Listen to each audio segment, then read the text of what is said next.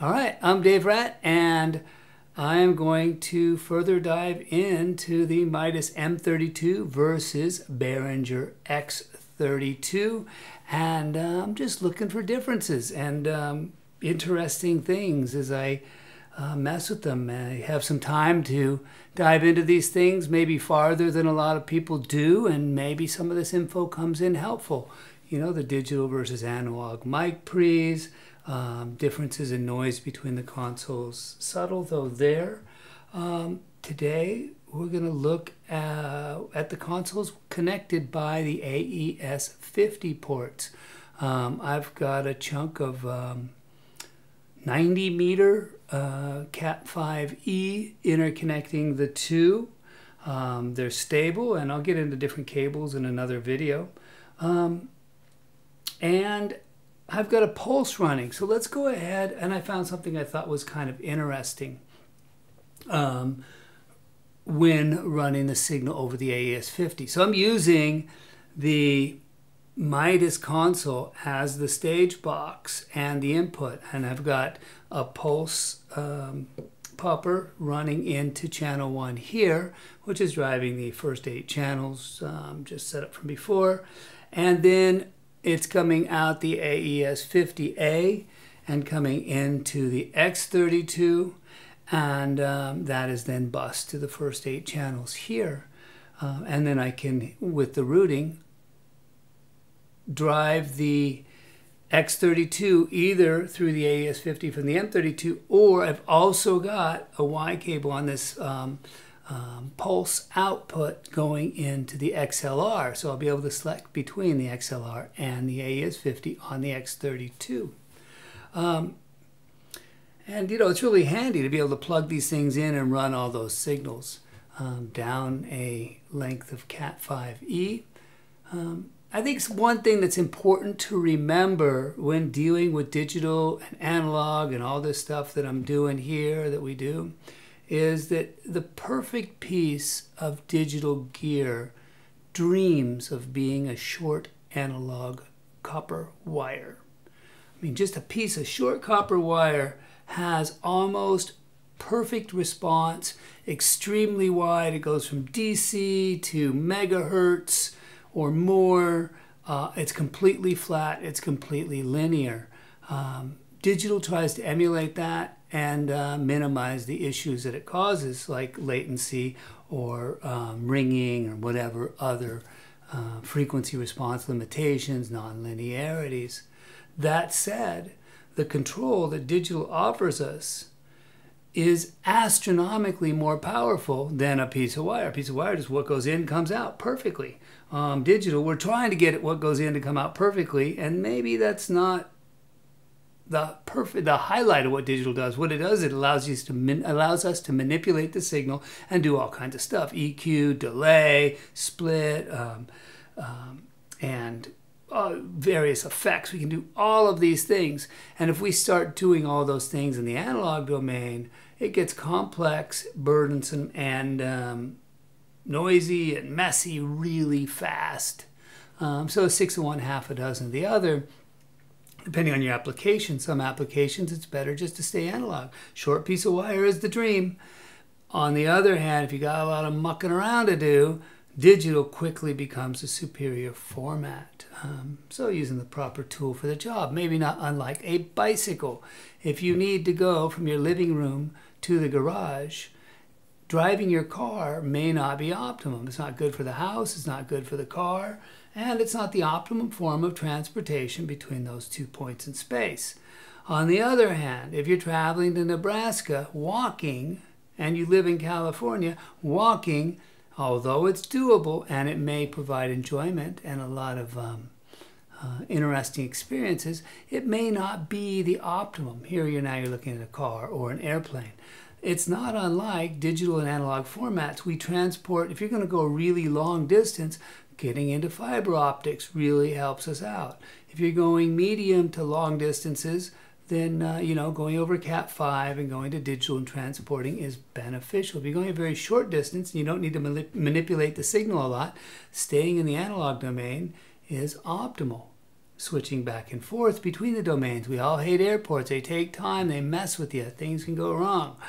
Flipping formats takes time, just like with digital, switching from one format to another. Um, so we want to avoid, uh, once you're in a plane, stay in planes, go to airports, hop through, get all the way to Europe. Don't switch from plane and then walk to the next airport when you land in a city or something. I don't know. That's all that works. In any case, let's get to it. So let's get the popper going. Um, pop, pop, pop. And you should be able to see it here on the Midas console. And here I've got the gains matched. I've got the faders matched. This fader does not need to be up. Um, this does not need to be up, but it can be. Um, and we should have the exact same thing going into this analog board, out of this analog board, showing up here on this Tektronix scope. And you can see um, there's a pulse trace there. Uh, one of those is the this console here, the Midas, which is the yellow, and the blue is the X32. And I can offset those a little bit, and you can see the two pulses. And I can put them back on top of each other and you can see that they're exactly the same or relatively the same. Okay, so that is analog running into both using independent consoles, mic pre's, everything just set the same. Watch what happens when I go to the AES 50 on the routing here. So I'm on local now. I'm going to drop down to AES 50 1 through 8.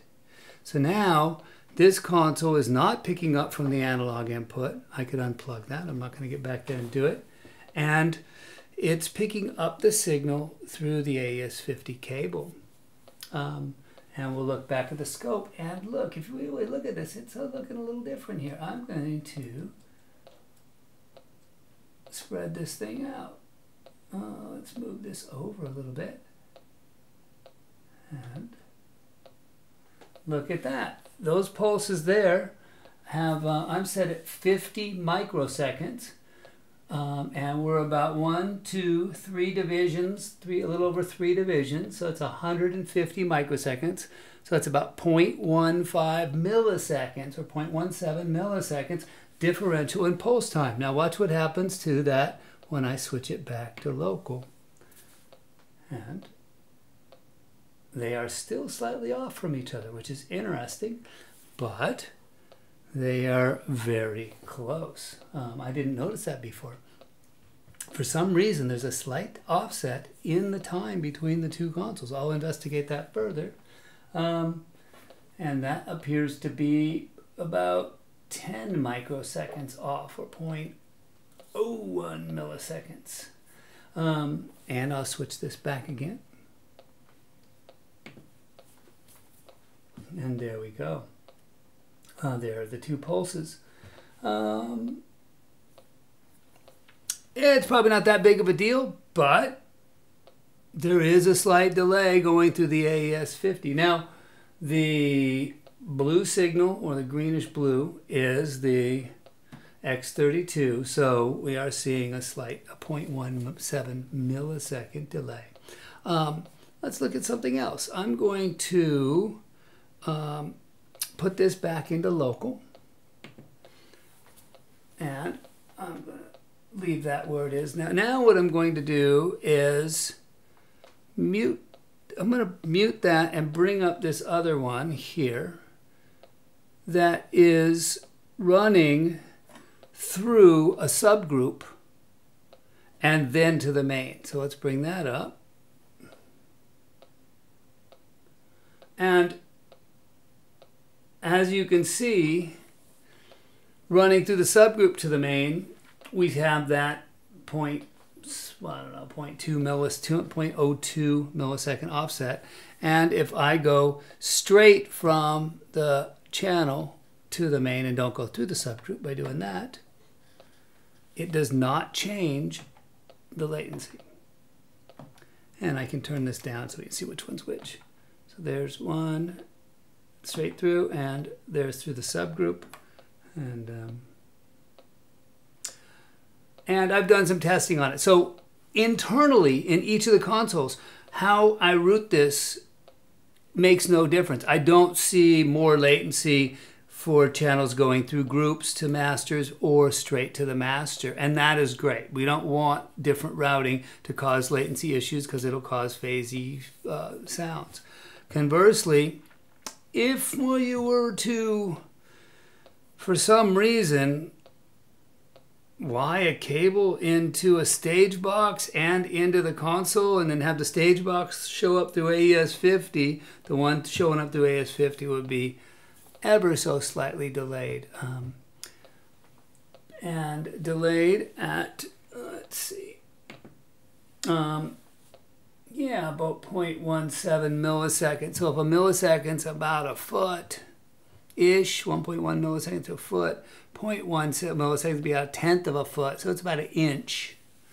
Um, so we're losing an inch of, of, uh, of um, real world time um, by running through the AES50. Um, okay, let's see, anything else? I think that should do it for today. I um, really, I'm going to get on to the cabling stuff now that I got the AES hooked up and I got the scope hooked up. Um, what I'm going to do next is, um, I think what I'm going to do next, we'll see how it goes, is hook up an AES50 between the two, take one of the SoundTools cat boxes and put it in between and use that as a coupler. But that'll give me metering points. I can use those XLRs as uh, test points. And with those test points, I can see the various signals on the scope. It'll give me a good way to look at those signals. And I've done a little testing with that already. And actually, if I run long cables, I can start to put pigtails and jam garbage into those, not garbage, but plug like a little mic cable into the um, cat box with Ethercon in, Ethercon out, those XLR breakouts, um, and dirty up the signal and cause the, uh, the sync to fail. Um, and I found out which of the lines cause it to fail more than the others. Um, all right, I'll dive into some of that, and that should do it for today. Cool, cool.